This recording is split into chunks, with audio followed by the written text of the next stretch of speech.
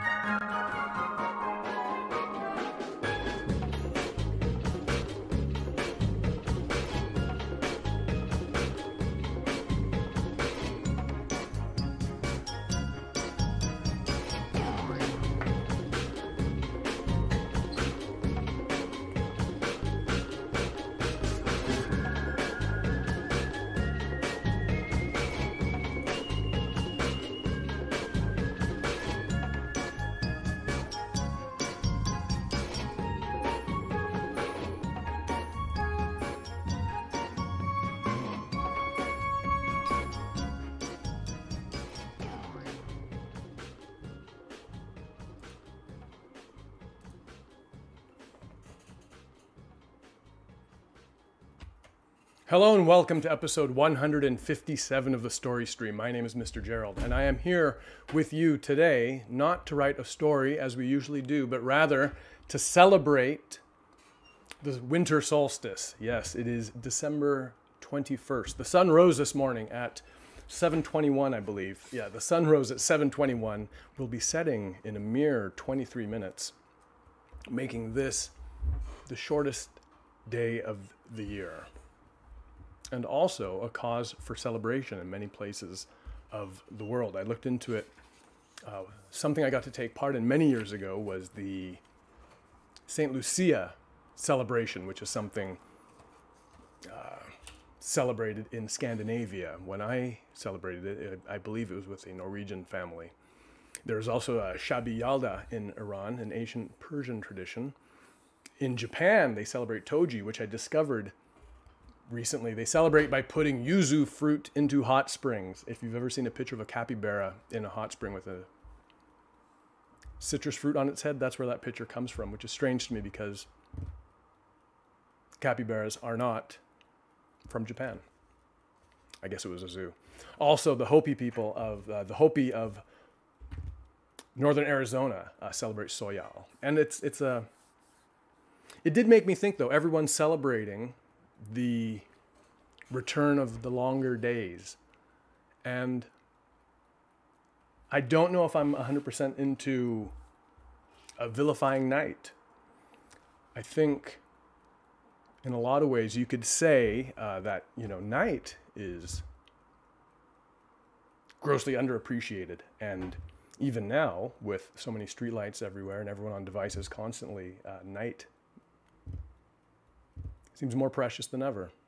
So I'm not celebrating, um, well, I'm celebrating both. I'm celebrating our days getting longer, but also celebrating the wonderful, beautiful, long night we're going to have tonight. I have a few stories, actually. Um, celebrating night. But let's do this. Let's go right now to some Christmas stories. Syra, you made it. I'm so happy to see you. You're just in time. I imagine a few people might be trickling in. I'm going to uh, pull up my box of Christmas books and go through them for a little and wait to see who else hops online. Uh, and then I'll get to the story that I've prepared to share. It's so good to see you uh, on here. It's rare for me to have anyone viewing at all. So to have, have I can see my counter says two viewers, which is um, two more than I usually have. And it's not even an indication of everyone who could be watching. Mark, thank you. Happy solstice to you and to Annika. Oh, it's such a treat to have you here.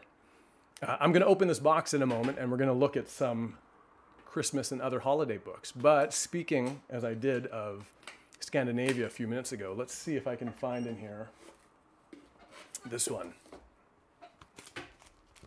This is The Tomten by Astrid Lindgren, Astrid Lindgren famous for the Pippi Longstocking books, of course.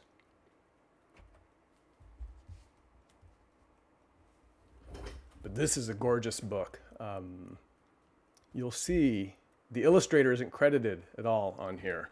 It's Harald Wiberg. Um, we can see there. Let me see if I can get this focused a little better. That's worse.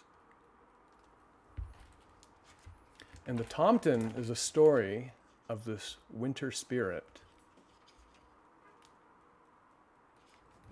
who visits a farm and speaks to all the creatures.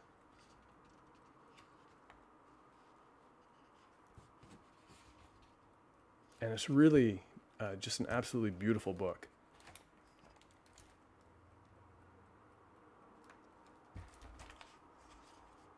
He visits everyone in the house and then returns to his home. But, you know, speaking of celebrating night, uh, this entire story takes place in one evening, and it's lovely. Um, I add here, I haven't looked in this book in a couple years actually. This is Babar and Father Christmas. This was, um, yeah. So the Babar books are often credited credited to Jean and Laurent de Brunhoff. Um, Jean was the father. This was the last story he wrote before he died. Actually, it was written as a series of. It was written as a series of uh, newspaper, no, magazine um, stories. But they were compiled after his death and turned into this book. Uh, his son, who took up the mantle of creator of the Babar stories, uh, colored this front illustration. He was only 16 at the time. Hello, Ford. Thanks for joining. It's good to see you here.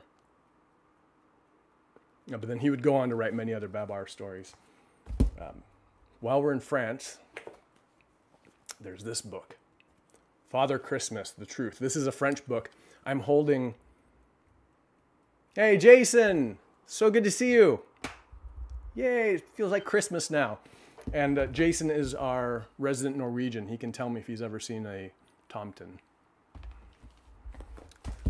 This book is the UK English adaptation of the Father Christmas book, or the story of Father Christmas.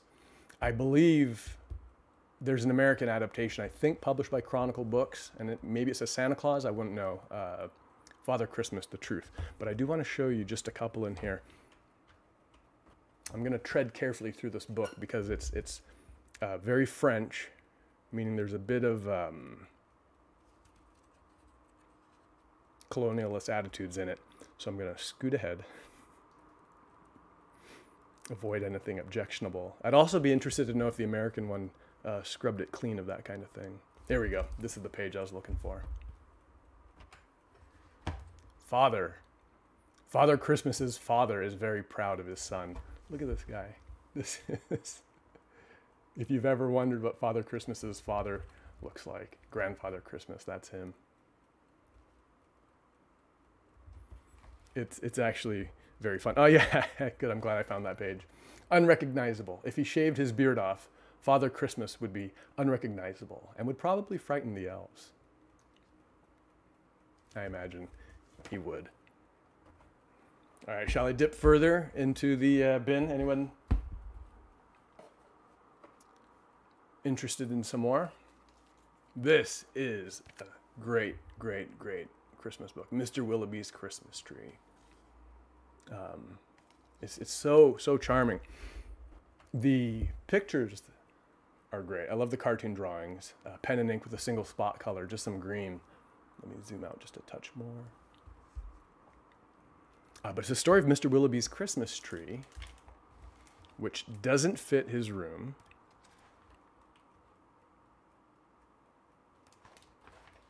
So there they are getting the tree. It doesn't fit into his parlor. You can see the top is bent. So they trim it off, of course, and throw it out. Well, actually, no, it goes to the maid who uh, doesn't fit in her room. So she trims it down, throws it out, and it goes to, uh, let's see, Tim the gardener, who takes it home. And of course, it doesn't fit in his house, and so he throws a tip out, etc., etc. And this tree makes it way makes its way across um, the entire community. And I will not spoil the ending because if you get a chance to read it, it's it's it's so good, so good. Ford loves that book. Don't shave the beard off. Terrible. What do you mean? Well, uh, yeah, yeah. I will. I will uh, relegate that to the back of the bin. What else do I have? Oh, this was a gift from uh, my co-author Julie Danielson. It's another French import, The Christmas Feast. about a very clever turkey who outwits some predators. And then this one, those of you who know me know I'm a big uh, fan and advocate of independent presses. And this is a book. Look, check out the gold foil on there. Can you see that? Mr. Dog's Christmas.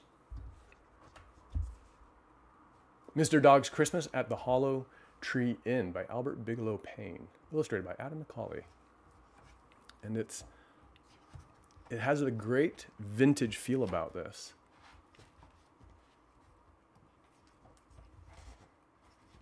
But I don't know. Um, I bought this in Berkeley about five years ago. I'm not sure when it was published though.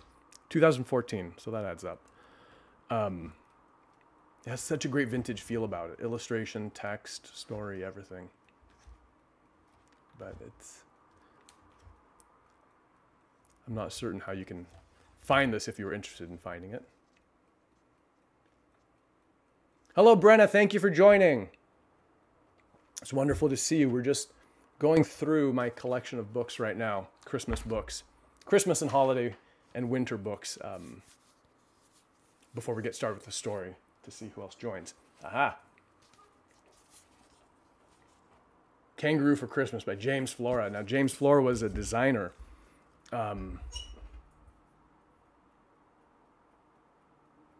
I, I, get. I'm not sure what you would call it. Uh, modern, or if it was animation, it'd be called the UP st- uh, UPA style. Uh, but it's kind of like a mid-century modern, and you might recognize it as the kind of thing you'd see. He was a commercial artist, but he branched into kids' books uh, later in his career. And this is his Kangaroo for Christmas, which I love for many reasons. Among them, this: the pages alternate between color, and each each page just has this uh, blue, brown, and pink, and you know, muted blue, light brown, and a dusky pink. But the the pages alternate; they go color, black and white, color, black and white.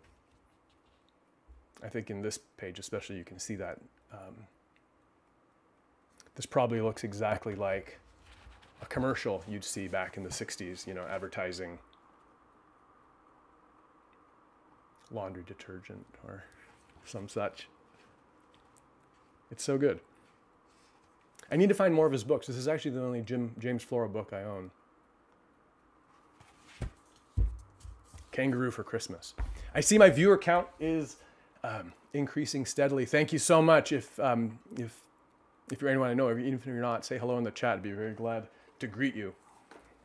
Um, what Christmas collection would be complete without this, of course? Um, Crockett Johnson's Harold at the North Pole, Clifford's creator, Norman Bridwell, The Witch's Christmas. I paid a full 50 cents for that. All right, I think actually in a moment we'll move on. You all have made, made, made my solstice. This is wonderful. Thank you so much. And I hope, I hope um, this is interesting to you. Um, I'll just dig down to the bottom here. Petunia's Christmas, Brian Wildsmith, The 12 Days of Christmas. Some lovely art in there. And then this one, which I actually bought for a dollar. Hello, is that Oscar I see just joining? Thank you for joining, Oscar. Uh, Baboushka and the Three Kings because it's a Caldecott winner. It's possible it's an honor book, but um, Baboushka and the Three Kings. I saw it for a dollar, picked it up, but I haven't yet read it. Maybe I'll do treat myself this year. But we are here not to read these books but rather to share one uh, that I made last year, uh, almost a full year ago, in fact. For those of you who don't know, I've been doing this story stream for about a year and a half now. I started back in July of 2020. And last year, on December, hey, Brenna loves Petunia, great. Daryl's here for the presents. Your, your presence is my present uh, but you will maybe get a treat towards the end of the broadcast. Um, last year, almost one year ago exactly, it was December 22nd. Um, oh, so on every episode, I pull some random words and I write a story based on those words. Last year, on December 22nd, I wrote a story that turned out to be a Christmas story. I thought I might like to share that with you today, and I will. But before I do, I want to give a little bit of background on it because this story fulfilled um, another um, long held desire of mine, and that was this. There's a book called The Big Orange Splot by Daniel Pinkwater, pictured here, levitating in his driveway in New Jersey, um, photographed by his wife, Jill Pinkwater.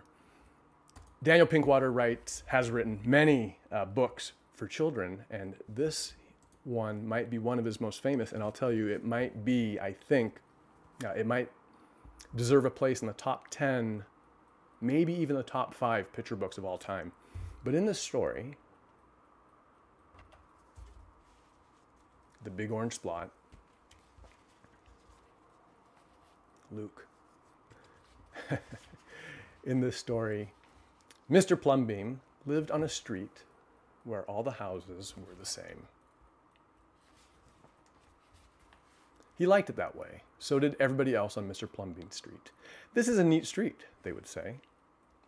Then one day, all right, now listen closely here. A seagull flew over Mr. Plumbean's house. He was carrying a can of bright orange paint. No one knows why. And that mystery, that mystery of the bright orange paint, uh, the seagull disappears after this page. He drops the paint and then moves on. I've always wondered, well, what what um, was that seagull up to? Oh, that's Shasta. Thank you, uh, Syra. That's Shasta. He sits up here with me, but later in the broadcast, he'll get impatient and uh, start pacing and demanding a walk. Um, I've always wondered what that seagull did. I got some. I got this wonderful zine, A Guide to Gulls by Claire Spiller. It tells you everything you want to know about gulls, but not um, why they might be carrying a can of orange paint. So if you're ready, I'll, I'll share the story I wrote. Um, and we'll see what we we'll see what we learn. Ready?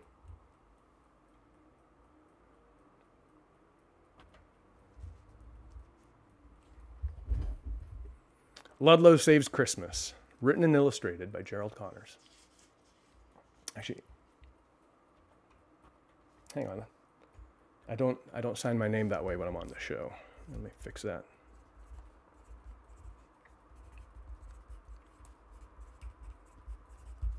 All right. Shasta is a good boy. I need to wet my whistle. Are we ready? Ludlow Saves Christmas, written and illustrated by good old Mr. Jerrold. Ludlow Seagull's favorite day of the year was Christmas. It wasn't for the eggnog, it wasn't for the warm fires, it wasn't for the carols or the chestnuts. It was for the Medina's family, family Christmas picnic. For as long as Ludlow could remember, the Medina family ate their Christmas dinner on the beach at the far end of the boardwalk just past the cheese goober stand. They walked in line, each member of the family carrying part of an enormous feast. Grandma Medina would lay out her special blanket, and soon bowls and jars of food would appear. The smell of warm spices filled the air. That smell enchanted Ludlow. It made the cold hot dogs and greasy pizza in the trash look like garbage. What's more, the smell awakened something in him. Maybe it was the memories of his ancestors migrating across vast seas to distant lands. Or maybe it was an unusually fine sense of taste. Or maybe you're just picky, said a pigeon. Ludlow and the other birds often gathered at the cheese goober. The garbage cans there were always full of leftovers. Just close your eyes and gobble it down, said another pigeon, holding up a bright orange rubbery thing. It was called a cheese goober, and it was the pigeon's favorite food. No, thank you, said Ludlow. You don't know what you're missing, said the pigeons. Ludlow did not care to find out. Picky or not, Ludlow lived for the Medina's cooking. So when a tall man in a dark suit drove up to the beach in a fancy car and hammered a sign into the sand, Ludlow took notice. So did the two Medina kids. What do you mean, no picnics? asked Safa. Sorry, kid, said the chauffeur. The beach has been booked for a private event. But we picnic here every Christmas, said Sonia. It's our tradition. Not this year, said the chauffeur. He climbed back into the car and drove off. Who does he think he is? fumed Ludlow. Ludlow flew after the car. It led him across town to an enormous mansion. Ludlow landed near a window. Inside, a man sitting by a fireplace waited for the driver. Ah, James, said the man, did you secure the beach for my Christmas morning run? Yes, sir, said James. Excellent, said the man. To celebrate Christmas Eve, I intend to eat an entire box of imported Scandinavian holiday cookies. I will want to exercise tomorrow, and a run on the beach sounds like an ideal way to burn those calories. Yes, sir, of course, sir, said James. Ludlow seethed with anger. That selfish jerk, he said, canceling the picnic just so he can feel better about eating all those fancy cookies. We'll see about that. Ludlow flew off with a plan in mind. If there's no Christmas cookies, there will be no Christmas run. Ludlow flew back to the beach and straight to the cheese goober stand. Next to it stood three cans of orange paint. Aha, said Ludlow, just what I was looking for. He grabbed a can of paint and flew off. But just as he passed over Main Street, the handle broke. Drat, said Ludlow. He flew back for a second can, but he hadn't gotten much farther than Main Street when this handle broke as well. Double drat, he said as the paint can fell onto a house below. Ludlow flew back for his third can of paint. Time was running out, and he had one last chance to get his plan right. He gripped the can with his webbed feet, stretched his wings, and flapped with all his might. Ludlow made it to the mansion just as the Christmas lights were turning on. They lit up the roof and outlined the chimney like a target. Bombs away, said Ludlow, dropping the paint can into the sooty black chimney. Far below came a loud splut. Ludlow landed to give his tired wings a rest, but before he could congratulate himself on a perfectly executed plan, he got a terrible shock. A delivery truck was pulling up the driveway. Sorry I'm late, said the driver. I was crossing Main Street when a can of paint fell out of the sky. He handed the box of imported cookies to James. Say, Mac, what happened here?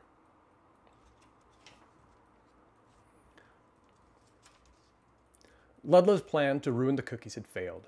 He flew back to the beach and settled in for the night. No Christmas Eve had ever felt so miserable. Ludlow tucked his head under his wing and fell asleep. The next morning, Chris Ludlow woke up and went to the garbage cans in search of breakfast. The pigeons were already there. Slim pickings today, they said. All the restaurants are closed. Just then, Ludlow heard the fancy car arrive. The rich man was getting ready for his run. He was bright orange from head to toe, but he looked as pleased as Punch. Keep the car running, James, he said as he did the stretches. I'll be back in a few minutes. Ludlow got an idea. You know, fellas, he said, I think I'll try one of those delicious cheese goobers today. In fact, I see a big one right now. The hungry pigeons looked up. Cheese goober? They cried. Cheese goober! There was a wild flurry of grimy feathers as the pigeons took off after the orange runner. Goober, they hooted. Goober! James, get the door, the rich man yelled. The fancy car raced off, leaving orange paint and a broken sign in its wake. One last delivery to make, said Ludlow. Ludlow flew to the Medina's apartment and tapped on their window with his beak. Mama, said Sonia excitedly, I think the beach is open. Before long, the Medina family were gathered for their Christmas picnic. The aroma of the feast filled the air, and Ludlow smiled. It would be a while before he'd get to sample the leftovers, but he was happy to wait the end. Let's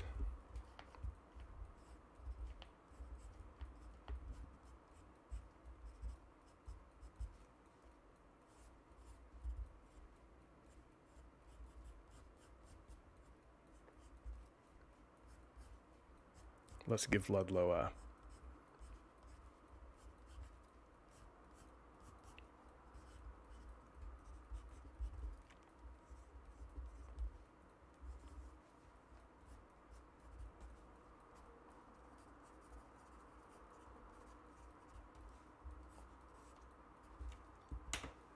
Let's give Ludlow a happy ending. All right.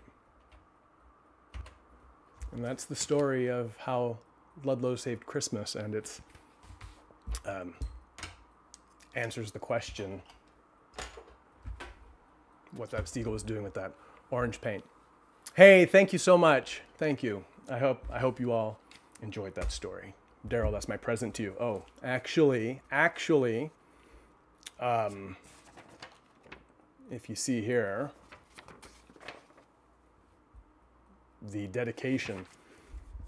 Uh, Daniel Pinkwater's middle name is Manus, Daniel Manus Pinkwater, but it's also the name of my good friend Daryl Michael Porcello, who, uh, Porcello, who was online last year, December 22nd, and actually helped me work my way through the story when I was uh, getting my legs, episode 42.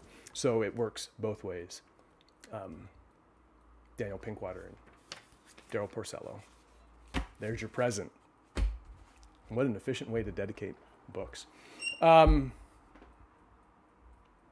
that's that's not all, uh, but let's see. Would anyone is anyone interested in seeing uh, some of the uh, work that went into that? Because I could I could share that. Um, Ford Ford's my moderator. Ford, if you could put the link to episode 42 into the chat, that would be great. What did Daryl miss? I'm not going over that. Okay, uh, let's see. Um,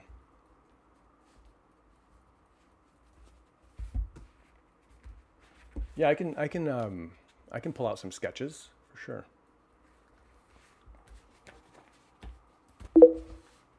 Oh, hey, I know who this is. Hello, Mr. Jerrold. It is I, the ghost of Dr. Zeus. It's the ghost of Dr. Seuss. He comes online to yell at me uh, from time to time. Yes, well, if by yell at you you mean try to give you advice to make you better author, then yes, maybe I yell at you a little. Mm, well, But if you prefer, I can always call someone else. I can maybe call Dan Santat.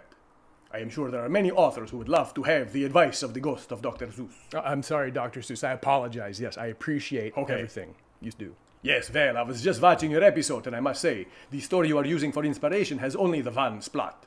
Yeah, it's the big orange plot. Perhaps you have heard of the book Bartholomew and the Oobleck. Now, that is a book that is full of splat. It says splat on the floor, and splat on the door, and splat on the window, and splat on the blindo, splat on the cat, and splat on the mat, and splat on the vingus, and splat on the dingus. The Blingus and Dingus. You get the idea. The idea being I use your books for inspiration. If you like, you know, or perhaps, uh, if not Bartholomew Cubbins, I have other characters you can use. maybe maybe the Lorax? If not the Lorax, maybe Tidwick. Thidwick. Yes, Tidwick, the big-hearted moose. That guy does not get so much laugh anymore. Everyone's always going on about Horton. Well, people love elephants. Yes. Yes, yes, yes, they do. Uh, you have something else? Okay, and I have another bone to pick with you. Another bone. Uh, what? I was watching your last episode, the one with the rhinoceros. That, that was a good one. I was very proud of that one. Actually, Yes, and you forgot to tell your viewers something very important. Mr. Jerrold, that was your 100th story you'd written on the story stream, and you failed to tell anyone that you had written 100 stories. yeah, I don't always like talking. You must do the self-promotion. I, I suppose you tell everybody about all the Of work. course you- I tell everyone about my stories. I am the ghost of Dr. Zeus. Just yesterday, I was having lunch with my friend Van Vanda Gog, and I told her all about my stories. Oh, what what you think? Eh, she was not impressed. You can't impress Van Vanda Gog. She invented the two-page spread, you know. I, I I I learned that recently. Actually, Yes. yeah. Okay. Well, now it is time. I must go. I am playing croquet with my good friends, Robert McCloskey and Joan of Arc. Thank you, Dr. Seuss. It's always great to see you. These are the final words of the ghost of Dr. Seuss. Yes. Goodbye. Goodbye. Wow, I can't believe what a, what a what what a treat. What what a it's a it's a solstice miracle. The ghost of Dr. Seuss came for a visit. Um, definitely a treat. I I can look at I can. Let, let me check the time really quickly because 4:59. No, we missed it. All right, I had set up uh, this. Hold on one moment.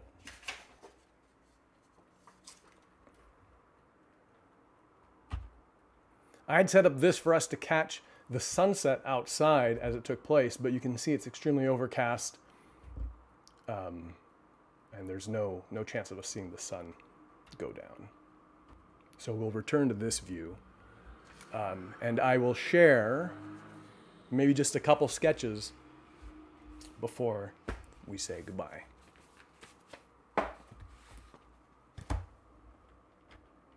I don't keep sketchbooks, which is probably a mistake. I just draw on loose leaf paper, but then I try to do my best and uh, compile them here. Oh, this is this is from uh, the actual episode. This was that day we pulled the words light, sand, stretch, and black, and we did some brainstorming. We had an idea of someone on a beach, uh, which turned into this drawing of this guy doing yoga on the beach and this surprise seagull. And then this appeared in my drawing. And then we just launched into it and we ended up writing the story. I'll tell you this the, uh, the Medina family is based on some ex students of mine. Um, uh, they were um, an Afghan family, and I like imagining that this feast is um, Afghan cuisine. But yeah, you can see some of the drawings here. You know, I'm going to take, I'm going to change my brightness for just a moment. It's getting darker by the minute. Whose bright idea was it to celebrate the night? I had a Rolls Royce. Uh, in my mind, the story took place. There's, there's the mansion. Uh, oh yeah, I had, I had the rich guy outside playing tennis. I was trying to think of the uh, trappings of a wealthy person. And then this was around the point, point where I had to add that later because I had to retrofit the story because it was around here. When I colored that, you can see there's purple underneath, but then I was like, oh, wait a minute, this could be the orange paint. And then splot. There's that.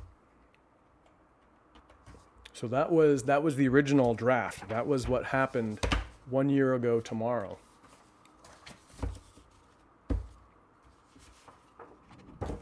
Uh, and then I took that and put it um, I created a PDF out of those sketches, added the words, and did a little bit of editing. But then the step after that was this.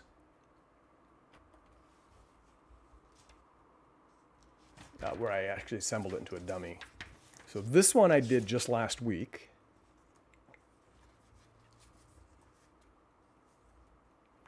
and then the one we we just shared together i did i did about one hour ago.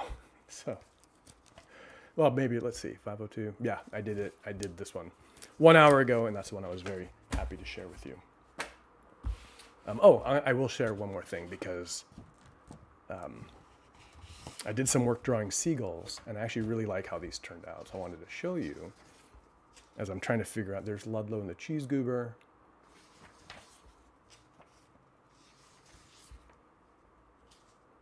Vancouver. the Medina kids. I like this fox a lot. Still trying to figure it out. But where's the drawing I like most? Oh, this one here. I love that. I like that drawing a lot.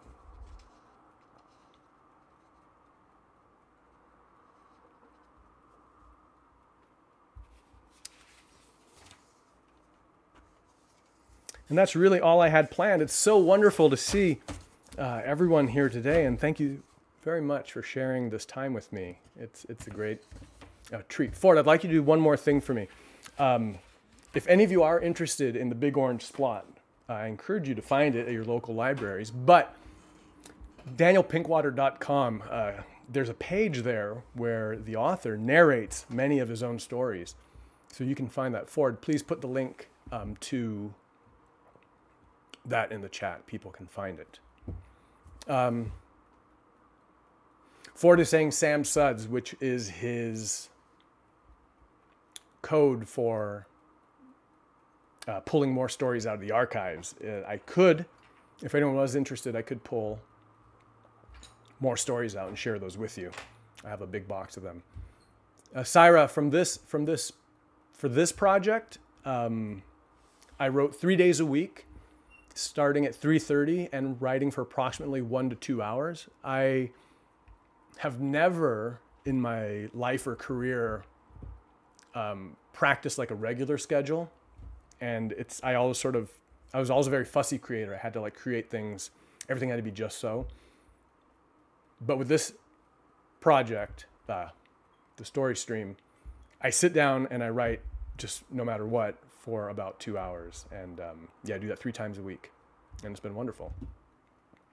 Oh yeah, so um, so Ford has just pasted into the chat, uh, pinkwater.com slash audiobooks, audiobooks. Check that out, it's super good. I could share, I did mention um, talking about night and thinking about night. I have two other stories relevant tonight. One is called Moon Soup, and the other is called um, Hope and the Darkness. And if anyone's in the mood for more stories, I could pull those out and read them right now.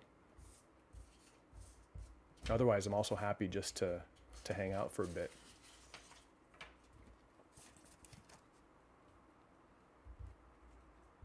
Oscar's interested. Thank you, Oscar. Um, there's moon soup. We'll tell you what, I'll grab both. Um, and then you get to see a little bit of how this works too. I have over here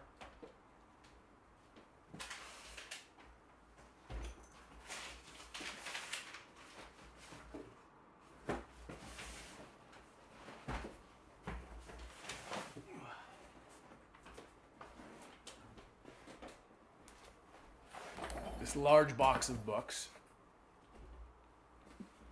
Swap this out.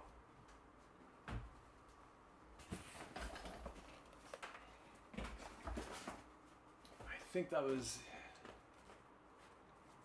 episode 86 or episode 85. Oh. Yeah, here we go. All right, there's Moon Soup. Moon soup. Okay, Brenna's asking for moon soup. Oscar's saying cool, cool. Um, oh, by the way, I can introduce some people. Brenna, uh, the person who commented underneath you, that is Oscar. Oscar is the author of the story of the uh, balloon that came down in the lunchroom. Oscar, I shared your story with some people, or your reporting, that is.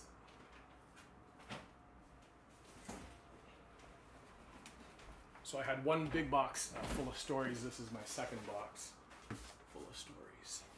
And I think this one was episode 125.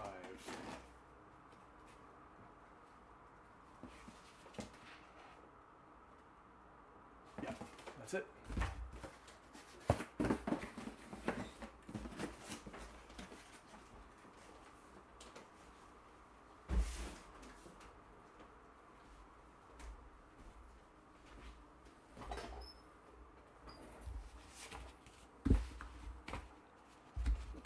The yeah, I'll share that story with everyone. Actually, here, you know what? I don't want to just.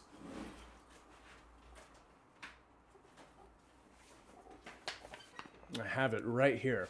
I'd like to share this with Oscar. Uh, may I have your permission to share the balloon story? If it's okay, type so in the chat, and I'll and I'll share this with everyone.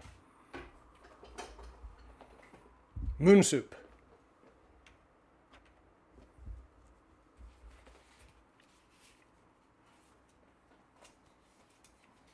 All right.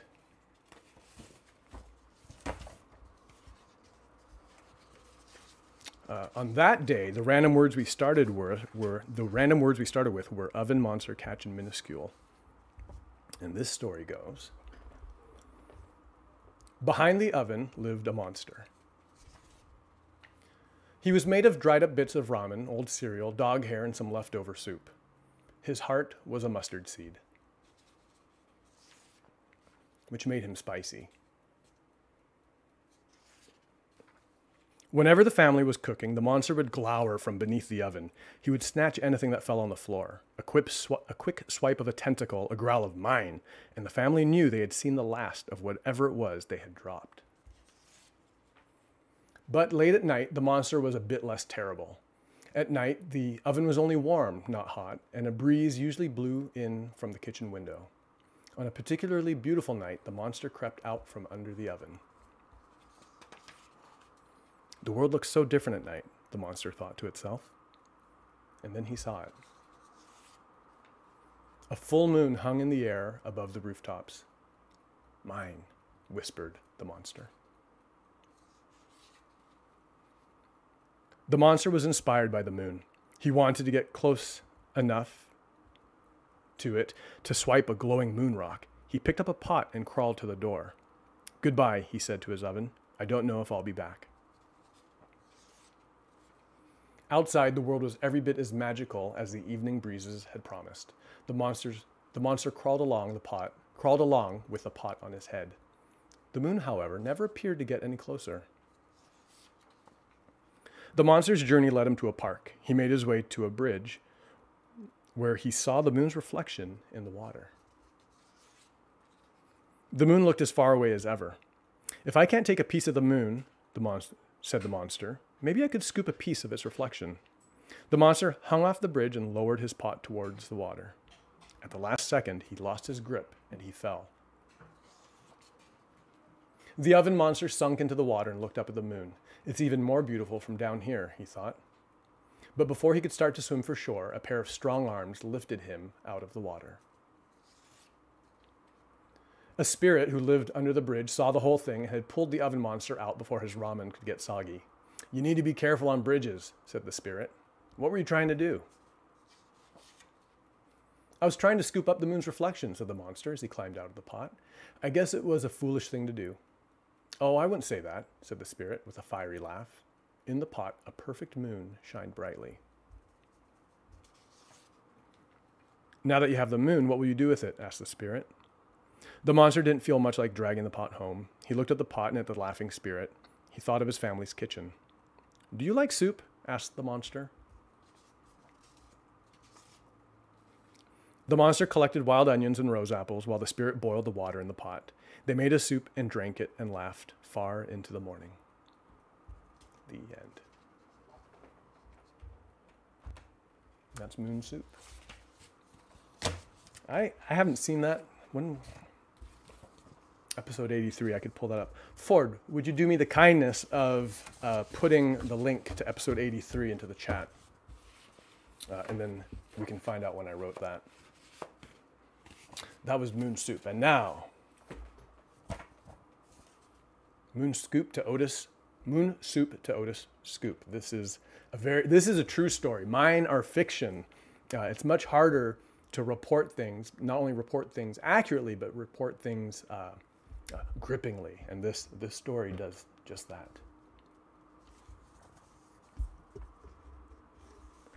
It says, It will be the best show in the history of Otis School. It will make me a star, says this mylar balloon. MPR Balloon Comes Down by Oscar J. On December 5th, 2019, at about 12:30 p.m., a birthday balloon in the lunchroom, said to be there for 12 years, started to move in every direction possible. Everyone was pointing, yelling, and clapping about the balloon finally floating around the room. The principal, on the other hand, was not happy about this, probably because of the noise. At one point, it looked like it was going to land on the principal's head, but it just floated over to the stage. One kid tried to get the balloon, but was told not to. In the end, Mr. Eddie, the custodian, took it down with one of those grabber thingies. That, that was a big day in our school community. That, that, um, that balloon had been there for years. Um, well, how are we feeling? Is it time to say good night? I almost don't want it to end. I think we will, though. If anybody, I know. Thank you, Ford. There is a small lag between me speaking and seeing what appears in your chat. So, what I will do is this. Um,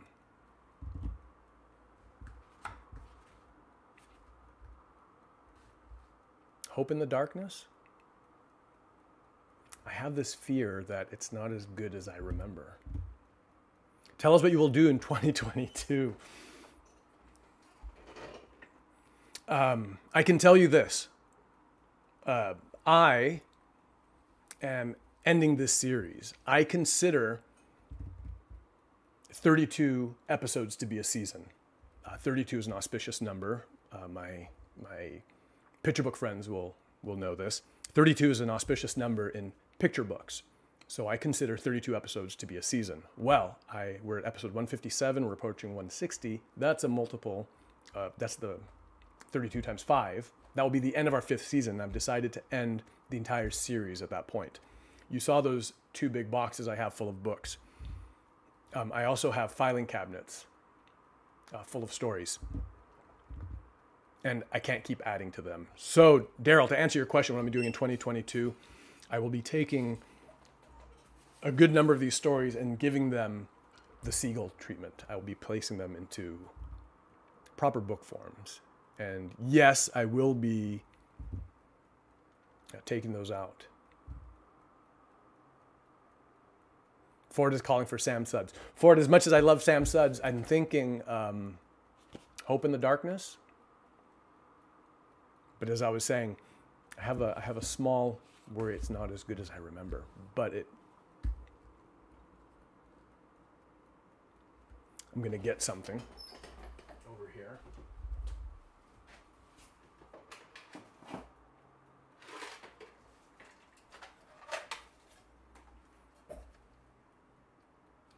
If we do read if we do read if we do read Hope in the Darkness, uh, Kewpie dolls play a figure in it. At the time, I I didn't know off the top of my head who invented Kewpie dolls, but I did look it up to find out. They were invented by someone named Rose O'Neill. Uh, so if anyone wants to hear the story of, of uh, Kewpie dolls, I can do that right now. Daryl is saying, finish them, sounds good, with, with nail polish emoji. Finish them. All right, I will, I will. All right, let's do this. I'll, I'll stop hemming and hawing about it. Uh, this is Hope in the Darkness.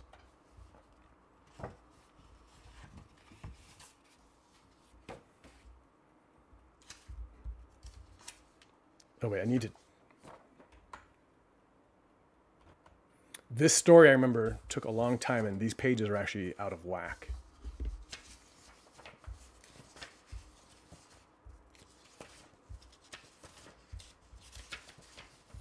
I'm just double checking because I actually think. Yeah, that's not it. Okay, hold on. So what happened? 123, 124. All right. Brenna wants to hear Hope in the Darkness. Thank you, Brenna. The thing is, because I do these on the fly uh, and without preparation, in this case, I did two episodes before I decided the story wasn't working for me, so I rewrote it in the fifth in the third episode, which should be 125 alone, which I should have somewhere around here.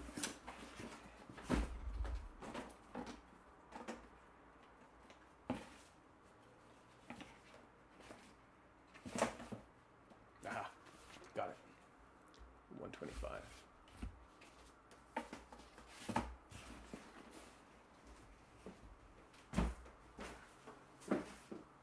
Maybe that's why that voice was telling me I wasn't quite ready to share it. Bum, bum, bum, bum. Okay, here we go.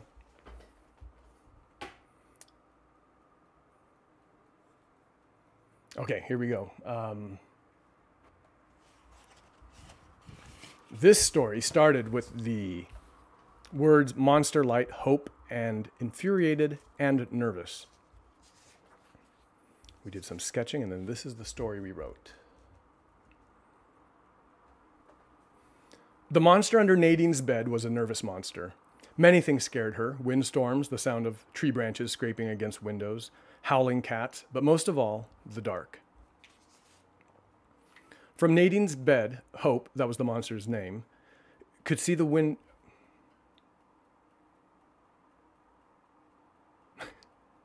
well, from Nadine's bed, Hope could see the window, and through the window, Hope could see the tops of buildings, streetlights, headlights, and the headlights of passing cars. The ground glowed with a yellow light.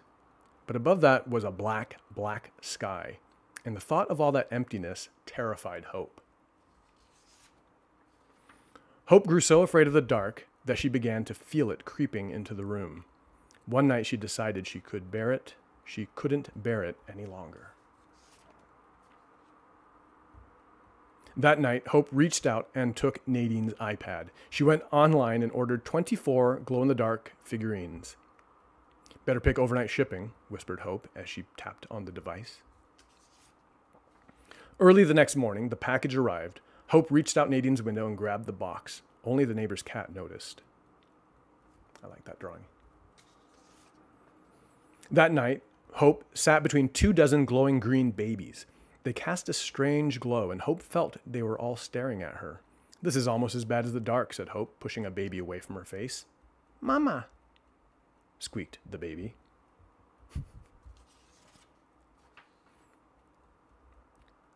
Nadine looked under her bed. No, Nadine moved. Hope moved to the darkest corner and held her breath as Nadine looked under her bed. Where did all these babies come from? said Nadine. Guess I'll clean them up in the morning. Hope frowned. Monsters are not supposed to be seen by humans. Hope knew she would have to leave the bed. She grabbed a few shoelaces, shoelaces and made a necklace out of the glowing dolls. Then, just past midnight, Hope stepped out from under the bed. She tiptoed carefully to the window and climbed outside into a nearby tree. Hope sat in the tree for a few moments, making sure the glowing dolls kept the darkness at bay. Well, may as well find my new home, she finally said. Hope began to walk her long strides, taking her far from her old home. Before long, she noticed some creatures following her. Oh, hello, fireflies, said Hope. The fireflies caught up and circled her necklace. That tickles, said Hope. But then some moths arrived, as well as a swarm of mosquitoes. Ah, cried Hope as she patooey spat out a gnat. Too much, too much. Hope ran off. The swarm of bugs followed in pursuit. A croaking groups of frogs hopped behind. What do all these critters want? said Hope. Then she noticed her necklace. They're attracted to the light, said Hope. I need to get rid of it. She swallowed the necklace in one big gulp. Monsters can do that. And with the light extinguished, the bugs and frogs left. But the darkness returned. Hope closed her eyes tight. She felt the darkness around her. It was cool, it was calm, it was quiet. Slowly, Hope opened a single eye. The darkness came with more stars than Hope could count. The Milky Way shined brighter than all the glowing green babies in the world. It was the most beautiful thing Hope had ever seen. Hope leaned back on a log to admire the sky. You know, she said, I could get used to this. The end. Okay, I'm glad I pulled that out because it's a little fitting for uh, what I was saying earlier about night. To end, I would like to share a poem with everyone.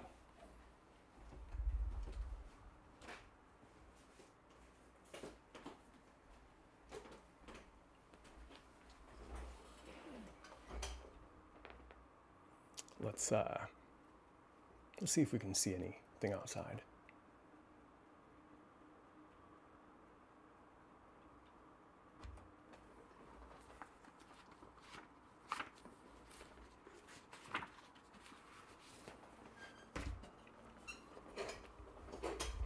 As we're thinking about days, uh, the passing of days, and days and nights, uh, this is a poem called The Life of a Day by Tom Hennen.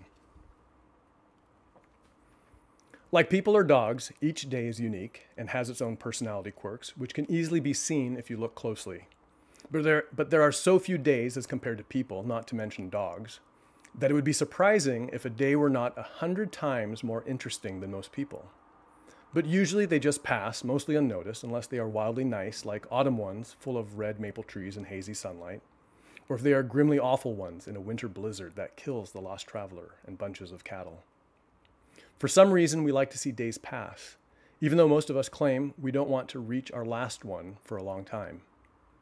We examine each day before us with barely a glance and say, no, this isn't one I've been looking for, and wait in a bored sort of way for the next, when we are convinced our lives will start for real. Meanwhile, this day is going by perfectly well adjusted, as some days are, with the right amounts of sunlight and shade, and a light breeze scented with a perfume made from the mixture of fallen apples, corn stubble, dry oak leaves, and the faint odor of last night's meandering skunk. Thank you so much for joining me today uh, to celebrate the winter solstice. I will be back for episode 158. So until then, uh, dear friends, take care and Be well. I'll see you soon. Bye for now.